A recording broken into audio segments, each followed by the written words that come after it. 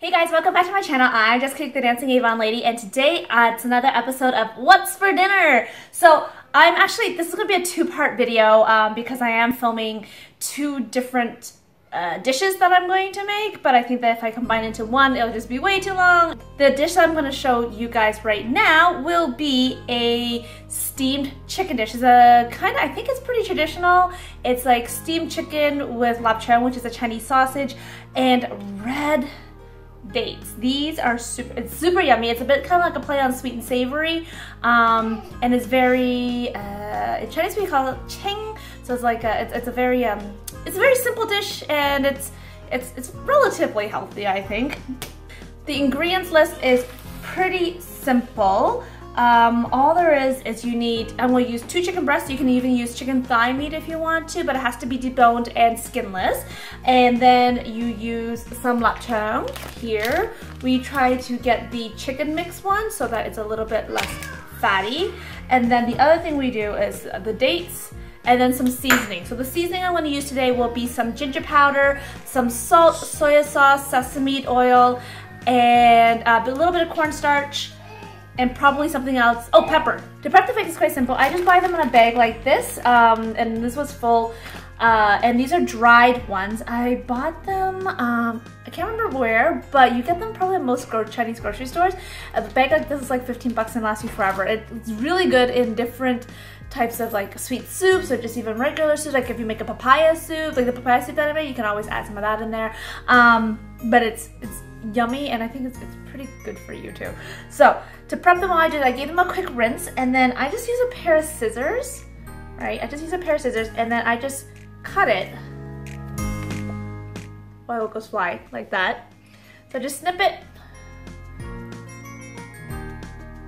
like that. And then there's a little pit inside.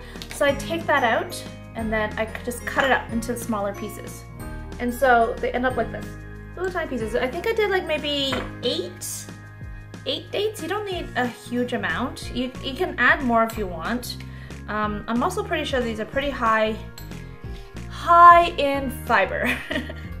so next is the lapchang. So these are, um, it's a Chinese sausage. It's kind of like a preserved dry sausage. I just give it a quick rinse and then I just dice it actually in really small pieces so I can mix it in to the uh, steamed chicken combo. So these are raw, so you do have to cook them. For the chicken breasts, I'm gonna slice them up into little pieces. A lot of the times I like to, when I, when I need to slice my uh, chicken breast or my uh, thighs uh, and I want it more evenly, I actually leave it slightly frozen. I just find it a lot easier to cut. So now we're gonna start marinating the meat. And it's a very quick marinated. I already put in the, uh, the, the Chinese sausage, the lapchang at the bottom here.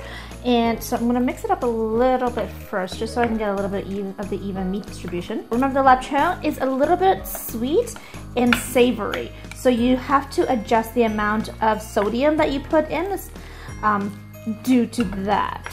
Okay, so what we're going to use is we're gonna put in just a little bit of garlic powder a little bit of pepper, touch of ground ginger, a little bit of onion powder, pinch of salt, and then I'm gonna mix it again before I put in my wet ingredients.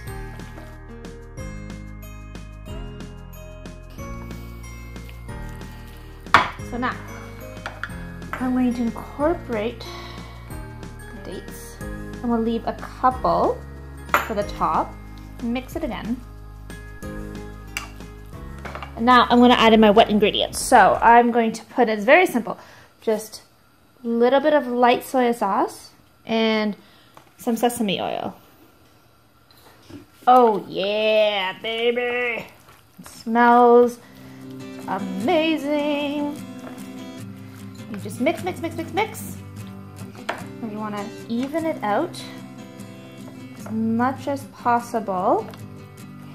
So it's as flat of a surface as possible so it cooks relatively evenly and then I'm just gonna put the remainder of the dates. While I have the meat over there marinating, what you do is you fill a pan that you know that you can fit the, uh, the, the steaming vessel.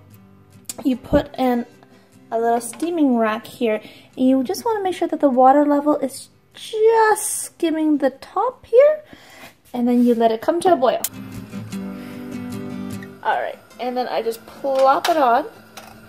All right, like that. In the middle. Take the lid, cover it, and it will cook.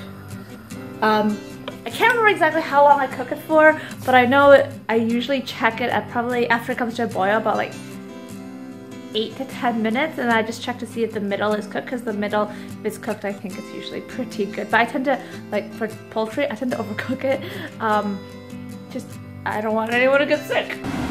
Alright another couple of minutes. Let's test this baby again. Okay it feels harder now so should be good. Yep all right, this is done. Woo! Taste test time. I can't taste test that, but I'll taste test this. So, ladies and gentlemen, this is my what steamed chicken dish with red dates and lapchung. Oh, so yummy, so yummy. And these are all natural juices that came out. And, well, I guess some of the steam. So let's try this. Mmm, oh, it smells good.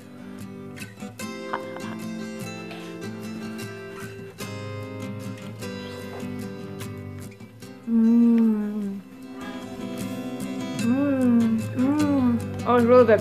It's really good. So, it's a very natural chicken taste. So the chicken breast is like nice and firm. And then you get the squishiness from the dates. And so and you, when you eat into one of the dates, you get that little burst of sweetness. And then you have the savoriness from the soy sauce that I put in, the salt, little hint of ginger, and then when you add the lapchung, you get a little burst of fat. and it's so tasty. It's so good. And the taste of lapchung is very unique, so it's really yummy. And then the sauce on rice, and in Chinese I say chap lo fan. It's like, mmm, it's perfect. It's absolutely perfect. Are you hungry? Yeah, you want to taste a little bit? She calls the jap soup. Try, try. Hi, say hi. Hi. Say, what's for dinner? Soup. Soup. Ready? Um. Is it that yummy? Yeah? Yummy? Does mommy get a thumbs up? Give me thumbs up! Yeah! So now you can listen to Ginevra. If you guys enjoyed this cooking video, please do give us a big fat thumbs up. And if you're new to our channel, please do consider subscribing and clicking that little bell icon beside it so you never miss, uh, miss, never miss a notification of one of my new videos. Until next time, guys, see you later, guys. Say bye. bye.